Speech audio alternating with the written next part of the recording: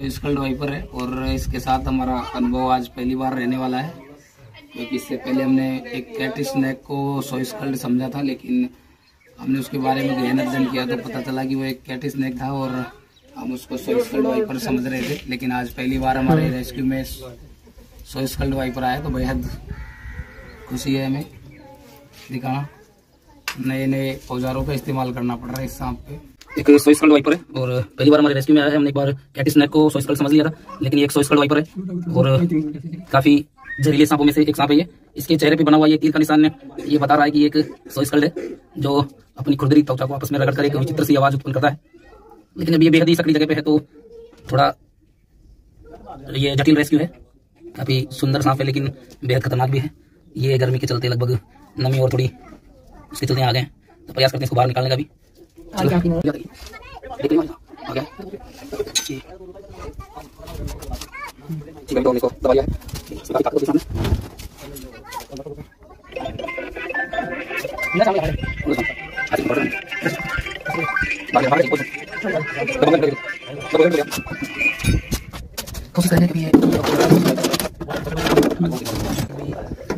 तैयार नहीं है और मैं चाह रहा हूँ कि चला जाए। कोबरा सांप अब तक इसमें घुस गया होता पूरी तरीके से। चलो चलो चलो। पूछ के भी देते क्या? पूछ तो कह रही है फड़फड़ा रहा अभी। बाहर।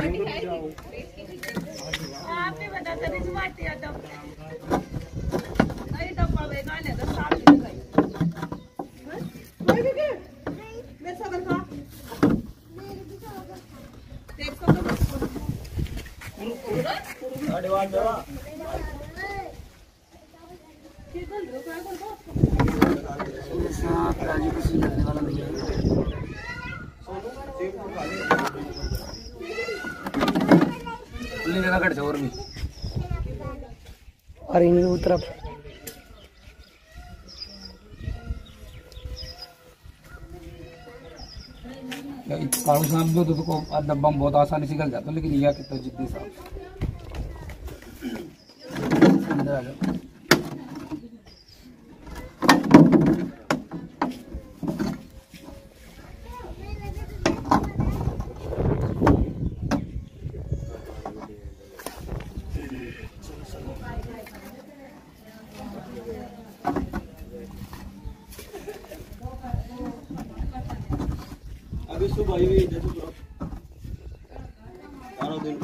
चले कार्ड ले रहा कार्ड शादी कार्ड शादी कार्ड लिया कल सौ बोल दिया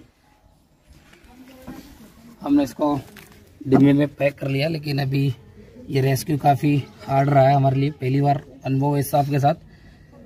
तो काफ़ी जिद्दी सांप है ये।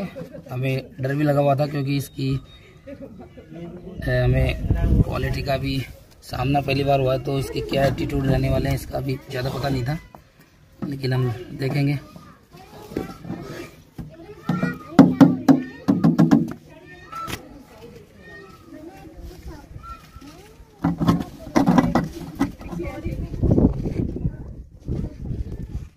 आवाज़ को निकाले यार, लेकिन एक ही साथ कर जा कोशिश तो दूर रहे ना साइड में इसको हमने डिब्बे में बंद कर लिया है।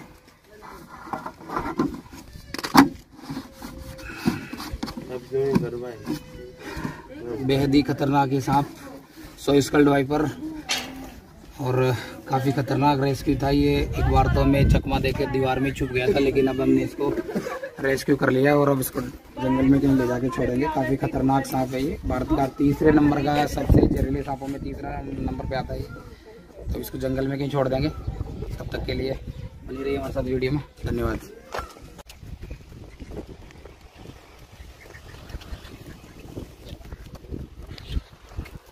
हमारे रिलीज़ पॉइंट पे आ गए हैं और इस खतरनाक सांप को यहीं कहीं रिलीज़ कर देंगे। तो ये पहाड़ी क्षेत्र है पूरी तरह जंगल है। जंगल में हम इन सांपों को लगभग रेस्क्यू करके यहीं रिलीज़ करते हैं। और हमारे कई स्पॉट और हैं लोकेशन के अकॉर्डिंग हम इनको रिलीज़ करते रहते हैं। लेकिन आज सबसे नज़दीक यही हमारा पॉइंट रहा है तो हम इसको यहीं पे रिलीज़ करेंगे। बाकी ये काफ़ी खूबसूरत जगह है। तो बनी रहिए हमारे साथ। इस खूबसूरत से सांप के रिलीज़ तक हम इसे थोड़ा वहाँ छोड़ेंगे आज। ज़्यादातर सांपों को हम यहीं पे, कहीं इस पहाड़ पे, इस पत्थर पे छोड़ देते हैं। और आपको एक खास बात और बताऊँगा, जो ये सांप इसमें है, वो लगभग इस ब्लैक ग्रेनाइट से मैचिंग का ही होगा, क्योंकि इसका कलर भी लगभग इसी तरीके का है। कई बार देखने में ही हमें नज़दीक से निकलने में भी नहीं दिखता। और ये लगभग इस सांप के बारे में जहाँ तक मेरा नॉलेज है, ये राजस्थान की पहाड़ी क्षेत्र में पाया जाने वाला सोशल वाइपर है। और ये पहाड़ी क्षेत्र ही है। ये काफ़ी ड्राई एरिया में रह लेते हैं आसानी के साथ। तो हम इसको, इसके जो नेचुरल पर्यावास है, उसी में रिलीज़ करेंगे। तो मैं समझता हूँ कि ये सबसे बेहद अच्छी जगह है सांप के लिए। तो इसको यहीं कहीं रिलीज़ कर देते हैं। तो दोस्तों, इस सांप के साथ मेरा अनुभव पहली बार ही हुआ है। इससे पहले हमने एक कैटी स्नैक को और सौ स्कल वाइपर समझा था। तो मुझे थोड़ा सा डर है इस सांप का, क्योंकि ये बेबजे भी कई बार हमला कर देते हैं। अभी ये शांति के साथ इसमें बैठा हुआ है, लेकिन ये फुफकार रहा है अभी। और इसके बारे में एक और जानकारी है कि एक अपने शरीर को रगड़ के एक अलग सी आवाज़ उत्पन्न करते हैं। लेकिन अभी फ़िलहाल देख सकते हैं, ये कितनी दूरी तक हमला करने का प्रयास कर हर एक मोमेंट पे हमला कर रहा है। इस डिब्बे के अंदर भी ये शांति से बैठा हुआ नहीं है। ये देखिए, ये आवाज़ इसकी स्कैन इसकी जो स्कैन पे जो स्कल बनी हुई है, उससे रगड़ने से निकल रही है। आप देख रहे होंगे दोस्तों, इसी आवाज़ के साथ ये चेतावनी जारी जारी करता है कि मुझसे सावधानी बरतें, वरना मैं आपको काट लूँगा। और ये काटने के बाद हमें हॉस्पिटल तो पहुँचा ही देगा दोस्तों, इस तरीके का सांप है। आप देख सकते हैं, एक ही तरह, एक ही जगह पे ये स्प्रिंग की तरह घूम रहा। वाह इसकी आवाज़ सुनने को मैं काफ़ी देर से बेताब था। मैं यही सोच रहा था कि ये आखिर चुप क्यों है? इसने अपना असली रूप दिखा दिया। आप देख सकते हैं, ये आवाज़ आप जो सुन रहे हैं, इसकी स्कैन, स्किन पे बनी हुई स्केल से निकल रही है। इसको रगड़ के एक विचित्र सी आवाज़ निकालता है। इसकी त्वचा काफ़ी खुरदरी है दोस्तों। मैं इसी त्वचा वाला सांप पहली ही बार देख रहा हूँ। ये वाइपर प्रजाति का सांप है। बेहद जहरीले सांपों में से है। कि ये भारत का तीसरे नंबर का सबसे ज़्यादा जहरीला सांप है। इसकी आँख बिल्ली की तरह है और ये हर एक मोमेंट पर आप देख रहे हैं। हमला कर ही लेते हो। वो इसकी स्पीड किसी गन से कम नहीं है दोस्तों। आप देख रहे होंगे कि मैं इसकी आवाज़ सुनने से काफ़ी प्रभावित हूँ। मैंने इसके बारे में सुना ही था लेकिन आज इसकी आवाज़ भी हमने सुन ली है। ये आवाज़ मुँह की बजाय अपनी त्वचा को रगड़ कर निकालते हैं इसीलिए इसको सोइस्कल्ड वाइपर कहते हैं। क्योंकि जो इसके स्कल्ड हैं इसको आपस में रगड़ने से ये ध्वनि पर आ, आ, मतलब बनती है। ये देख लीजिए। ओहो क्या गजब का ये सांप है दोस्तों। मैंने पहली बार इसको आज रेस्क्यू किया है तो मैं काफ़ी खुश हूँ। और जल्दी सांप को बाहर निकाल लेते हैं अभी। मैं काफ़ी एक्साइटेड हूँ कि आज मैंने एक सोइस्कल्ड वाइपर का रेस्क्यू किया है। इससे पहले हमने एक कैट स्नैक को सोइस्कल्ड समझकर काफ़ी बड़ी गलती की थी, लेकिन वाकई में इसमें काफ़ी फ़र्क है। इनका पैटर्न भले ही मिलता जुलता होगा, लेकिन वो साइज़ में थोड़ा पतला और लंबा था। फिर हमने उसके बारे में थोड़ा गहर, गहन अध्ययन किया तो पता चला कि उसमें लंबाई का इशू होता है और सोइस्कल्ड वाइपर पेड़ पे नहीं चढ़ते हैं। बहुत सी कुछ जानकारियाँ उनसे मिली। तो दोस्तों, ये सांप वाकई में ख़तरनाक है और ऐसा सांप काटने पे, झाड़ फूक के चक्कर में बिल्कुल ना पड़े। सीधे हॉस्पिटल जाएँ। ट्रीटमेंट लें ताकि समय रहते हुए अपने आप को बचा सकें। ये सांप, ऐसा सांप है कि कोबरा सांप को मास्क से कई बार हैंडल कर सकते हैं, लेकिन इस सांप को बिल्कुल भी नहीं करेंगे। ये भरोसा के लायक सांप नहीं, इसीलिए मैं इसको ज़्यादातर इसके बारे में जो जानकारी दे रहा हूँ, इस डिब्बे में ही दे रहा हूँ, क्योंकि कोबरा सांप कई बार हमारे साथ बहुत सारा समय बिता लेते हैं, लेकिन ये सांप बिल्कुल भी हमारे साथ कंफर्टेबल रहने वाला नहीं है, और मैं भी नहीं चाहता कि इसके साथ मैं रहूँ, लेकिन थोड़ी सी जानकारी हम अपने लिए ज़रूर लेंगे, क्योंकि हम इसके व्यवहार के बारे में जानेंगे, ताकि आगे इसके साथ रेस्क्यू करने में हमें ज़्यादा दिक्कत नहीं हो। इसके बारे में मैंने सुना था, आज इसके बारे में देखा है कि इसकी आवाज़ किस तरीके से आती है। ये अपनी त्वचा को रगड़ कर एक कमाल की आवाज़ उत्पन्न कर रहा है, जो काफ़ी डरावनी है, बेहद डरावनी है। और ये एक ही जगह पे इस तरीके से घूम लेता है, जैसे किसी साइकिल की चैन, बाइक की चैन एक जगह घूमती है वैसी तरीके से। आप देखेंगे। और जो ये शरीर से जो आवाज़ उत्पन्न कर रहा है, इसकी बॉडी से जो आवाज़ आ रही है, वो कोबरा के फुफकारने से भी काफ़ी डरावनी है और काफ़ी तेज़ है। ये किस तरीके से अपने शरीर को आपस में रगड़ के और एक आवाज़ उत्पन्न करते हैं? और ये वो सांप है दोस्तों, बेवजह हमला कर लेता है, लेकिन आज तो इसके पास एक बहुत बड़ी वजह है, क्योंकि हमने इसको एक जगह से दूसरी जगह पे ट्रांसप्लांट किया है। तो इसके पास एक बहुत बड़ी वजह है जो ये हमला कर ही लेते हैं। आप देख सकते हैं, ये मोटरसाइकिल की चैन की तरह एक ही जगह पे अपने आप को घुमा रहा है।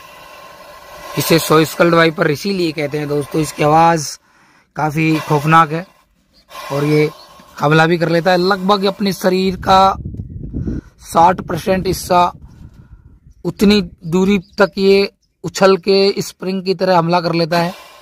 ठीक है दोस्तों इस सांप को बिना देर किए अब बाहर निकालते हैं। काफ़ी डरावना दिखने वाला ये सांप वाकई में डरावना है दिखने वाला ही नहीं है।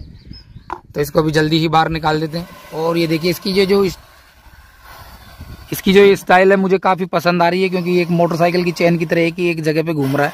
माल का इसका ये डिज़ाइन है, आप देख रहे होंगे। ये बाइक की चैन की तरह एक ही जगह बार बार घूम कर हमें आकर्षित कर रहा है, और ये इसलिए कर रहे हैं क्योंकि ये ये अपने शरीर को रगड़ कर एक अजीब सी आवाज़ उत्पन्न कर रहा है। आप सुन भी रहे होंगे शायद, एक बार मैं अपना ऑडियो बंद करके इसका ऑडियो सुना रहा हूँ आपको। तो सुनिए दोस्तों।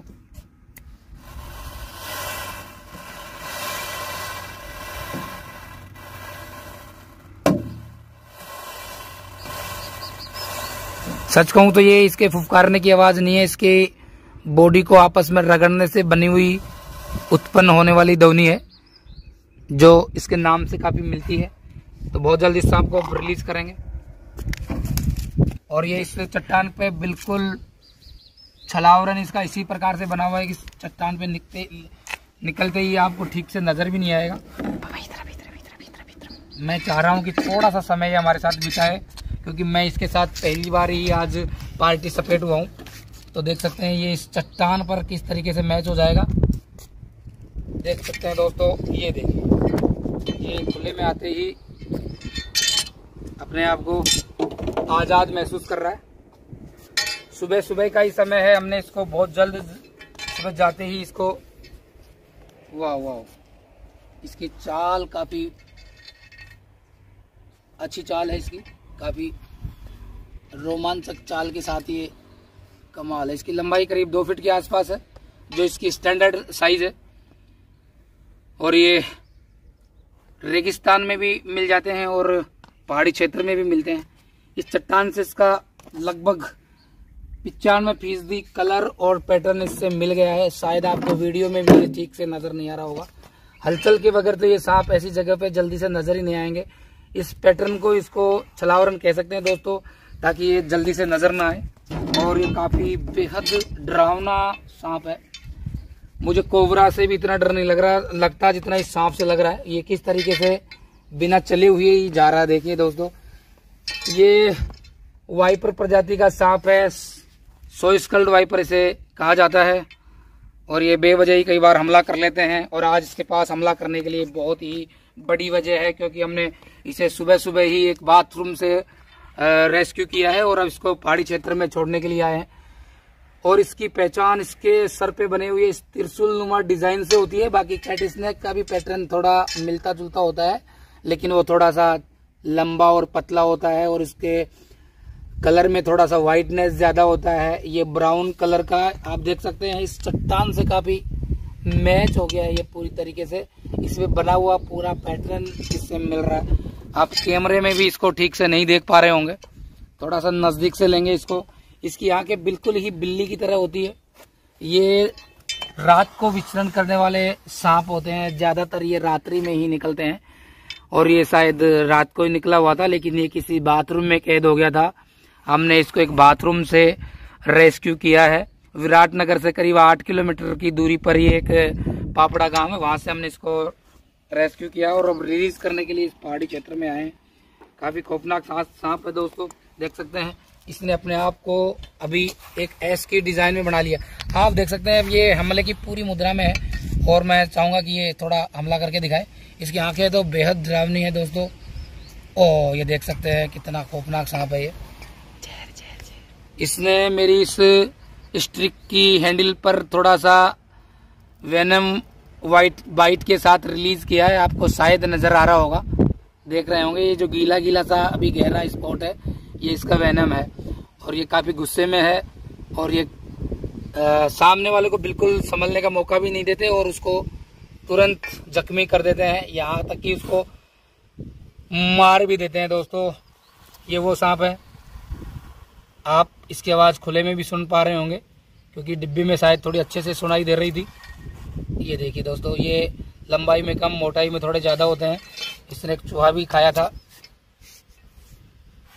वाह वाह मैं काफ़ी खुश हूँ आज कि मैंने एक सोइस्कल वाइपर के साथ रेस्क्यू करने का मौका मिला है। मैं बहुत ही एक्साइटेड हूँ और काफ़ी खुशी मिली है मुझे क्योंकि मुझे इस सांप के साथ काम करने का मौका पहली बार मिला है। इससे पहले हमने बहुत सारे सांपों का रेस्क्यू किया है लेकिन ये सांप हमारी लिस्ट में पहली बार ही आया है। एक बार हम नवंबर में काफ़ी खुश हुए थे लेकिन वो कैट स्नैक था। ये देखिए इसके स्कल्स काफ़ी उबड़ खाबड़ और खुरदरे हैं। इन्हीं उबड़ खाबड़ स्कल्स से ये आवाज़ निकालता है इसलिए इन्हें सो, सो स्कल्ड वाइपर कहते हैं। इस सांप को दोस्तों हम हाथ से बिल्कुल भी रेस्क्यू या रिलीज़ नहीं कर सकते क्योंकि ये वो सांप है ये मौका ही नहीं देते। ये सांप हाथ लगाने के लायक नहीं, हम कोबरा को भी हाथ से रेस्क्यू कर लेते हैं। थोड़ा स्ट्रिक के सहारे से, लेकिन इस सांप को तो बिल्कुल भी नज़दीक जाने का मन ही नहीं करता, क्योंकि ये मौका ही नहीं देता और पता नहीं कब हमला कर ले। इसके इस शांति को आप किसी तूफ़ान की तरह भी देख सकते हैं। अभी ये ना तो हमला कर रहा है, ना आवाज़ निकाल रहा है, लेकिन बेहद खौफनाक सांप है। ये इस जीप से पूरा पता लगा रहा है कि ये स्ट्रिक है, इसके खाने से कोई फ़ायदा नहीं होने वाला। पर बेहद ही खतरनाक ये सांप ड्राई एरिया के लिए काफ़ी बदनाम है। ये सूखे और पहाड़ी क्षेत्र में रहते हैं। ठीक है, इसको यहीं रिलीज़ कर दिया जाए। चलो दोस्त, चले जाओ। बाय इस सांप के साथ तो जितना हमने समय बिताया, मुझे बहुत ही खुशी हुई है। ये पहली बार हमारे रेस्क्यू में आया तो ये हमारे लिए एक मेहमान की तरह है। चलो, मेहमान को अपने एरिया में छोड़ देते हैं। आप देख सकते हैं। काफ़ी मतवाली चाल है। और ये मतवाली चाल के सहारे अपनी जगह ढूंढ रहा है अभी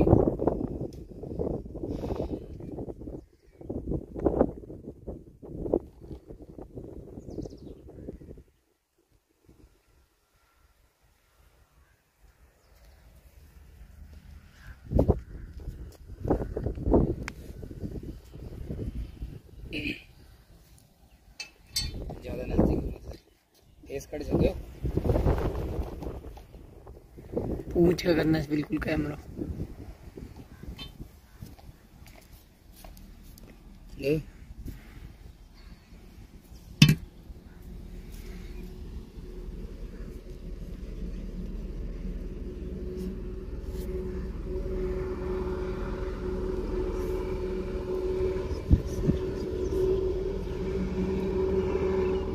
ठीक है दोस्तों, हमारे चैनल को सब्सक्राइब करें और हमारे वीडियो को शेयर करें ताकि इन जीवों को और भी ज़्यादा तादाद में हम बचा सकें, लोगों तक ये सूचनाएँ पहुँचे और हम इनको रेस्क्यू करके जंगलों में छोड़ें। धन्यवाद।